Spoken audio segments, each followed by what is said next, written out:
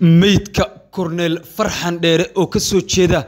jifada habar awal ee muuse biixi ayaa yaalla aagga maraaga halkaas oo ciidamada s n m goordhoweyd ay meydkiisa uga carareen. Dagaal qaraar oo maanta ka dhacay laba aag oo la xiriira aagga maraaga ee afaafka hore ee saldhigga gooja cadde iyo sidoo kale aagaga tuulo samakaab ayaa dhaliyey khasaare baaxadle oo gaaray ciidamada s n m. Xilli si walba meesha looga saaray dhammaanba awoodihii s n m iyo sidoo kale tillaabooyinkii kala duwanaa ee ay doonayeen in ay ku meelmariyaan rabitaankooda. S n m ayaana u muuqday in si weyn ay ugu fashilmeen dhammaanba tillaabooyinka la xiriiray xaaladda deegaanka iyo sidoo kale wax walba oo go'aan ahaa oo si toos ah ay dagaal ugu qorsheynayeen siddeed iyo tobankii maalmood ee la soo dhaafay ciidamada s n m waxa ay qorsheynayeen in siddeed iyo tobanka bisha may oo maanta ku beegan oo ay u dabaaldegayaan maalintii ay ka go-een soomaaliya sida ay sheegeen in ay gacanta ku dhigaan magaalada laascanood ayna ku qaadaan weerar jihooyi kala duwana. Dagaal qaraar oo aroornimadii hore ee saaka bilowday ayaa goor dhoweyd istaagay iyadoo weli la maqlayo rasaas teelteel ah oo meelaha la isku dagaalay qeybtood ka dhacaysa ciidamada xaqudirka s c ayaa qobsaday xitaa wadooyinkii ay gacmahooda ku fasheen ciidamada s n m islamarkaana ay dhaawaca marsanayeen mana jirto maanta wax dhaawac ah oo ka gudbay aagga gooja cadde. Dhaawacyadii ugu badnaa ayaana daadsan aagga gooja cadde halkaas oo ay ku aadaarayaan. Aagga maraaga ayaa waxa ay kaga carareen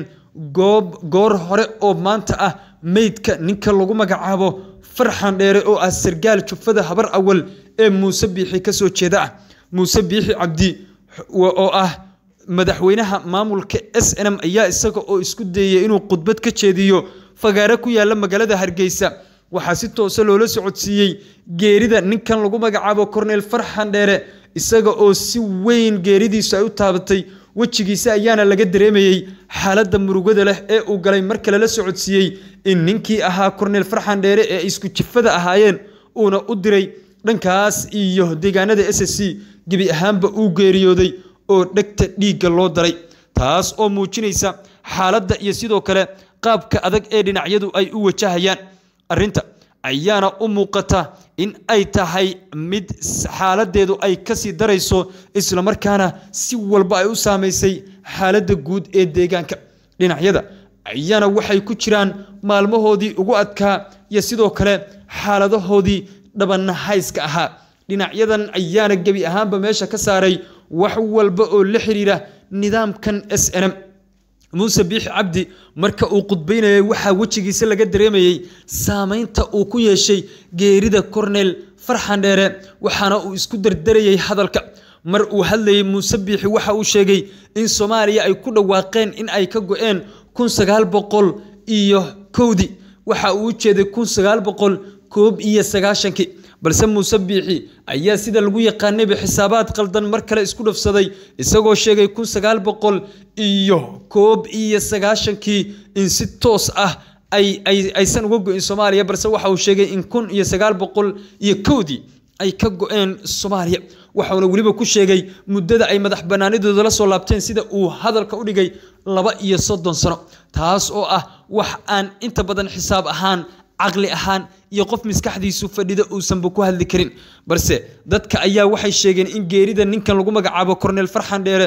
ay saameyn weyn ku yeelatay xaaladda muuse biixi islamarkaana hadalka shaqada iyo sidoo kale tillaabooyinkaba uu isku dardarayey ninkan lagu magacaabo muuse biixi oo geerida ninkan ay saamaysay ayaa waxa uu sidoo kale afkiisa ka dhammayn waayey beesha majeerteen waxa uu sheegay in beesha majeerteen ay dhibaato xoogle ku hayso deegaankiisa. Waxa uu ku celiyey in beesha majeerteen ay dhibaatada ay ku hayso deegaankeeda ay tahay mid faraha ka sii baxaysa iyo tillaabooyin u muuqda inay yihiin kuwo gooni gooni ahaanaya. Waxa uu afka ku celceliyey islamarkaana dhowr jeer uu soo qaaday genaraal morgan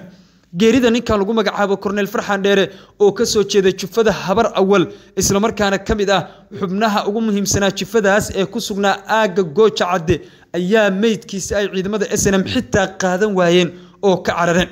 saraakiisha xaqudirirka s c ayaa sheegay ninkan meydkiisa in ay ka tillaabsadeen islamarkaana uu yaallo aagaga galabnimadii hore ee maanta laga kiciyey ciidamada s n m ee afaafka hore ee saldhigga gooja cadda ah. Taasoo ay ku sheegeen inay tahay arrin marnaba aan la dheelsan karin. Marka la fiiriyo jabka xoogga leh ee gaaray nidaamka snm iyo sidoo kale qaabka awoodoodii loo wiiqay saraakiisha xaqudirirku waxay sidoo kale hoosta ka xariiqeen in la joogo xilligii go'aano ad adag la qaadan lahaa islamarkaana si toos ah looga jawaabi lahaa dhammaanba tillaabooyinka iyo iskudayada kala duwan ee ay samaynayaan ciidamada s n m. Jabka xoogga leh ee gaaray ciidanka s n m ayaa u muuqday inuu yahay mid xilligiisii yimid waana jab xoog leh oo gaaray guud ahaanba nidaamkan. Jabkan ayaana waxa uu yahay mid saamaynaya guud ahaanba xaaladda deegaanada s n m. Caynaba burco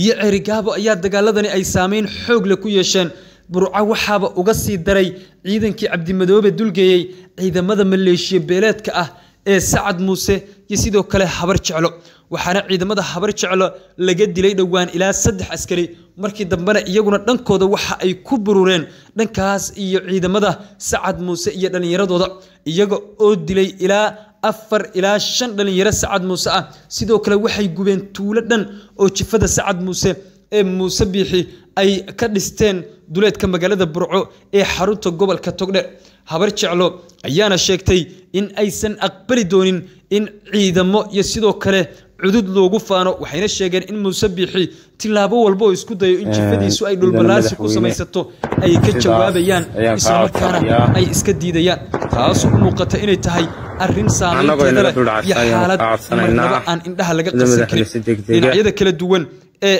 s n m iyo sidoo kale s s c ayaa u muuqda in markan ay faraha isgeliyeen waxaase kaga dartay s n m oo magaalooyinkii iyo dadkii ay dulmayeen oo dhan ay ku kaceen. Habar jeclo waxay u aragtay inay fursad u haysato markan in muuse biixi jifadiisa ay iska celiso maadaama muuse biixi uu markan diidan yahay in dagaal uu ka dhex qarxo gudaha beelaha ama jifooyinka isaaq sidoo kale beesha gadubiirsay iyo magaalada boorama ayaa iska horguftay dulmi muddo ku dhexaasnaa gudaha magaalada waxayna dadkeedu sheegeen in aysan doonayn dowlad gaar loo leeyahay dowlad beel leedahay dowlad isaaq leeyahay iyo dowlad ay wataan dhiigyacabyo tan iyo soddonkii sane ee la soo dhaafay dhiigga shacabka gobollada waqooyi jiqayay waxayna sheegeen dadkeedu in aysan arintaas aqbali doonin yeeli doonin qaadan doonin iskana diidi doonaan. Dhallinyaro ayaa dhiigga looga daadiyey oo afka iyo caloosha xabad laga geliyey ciidamada s n m ayaana sidaas sameeyey. Weliba ciidamada sidaas samaynaya waa ciidamo ay isku jifo yihiin. Ninka lagu magacaabo muuse biixi cabdi oo ah hogaamiyaha maamulka s n m islamarkaana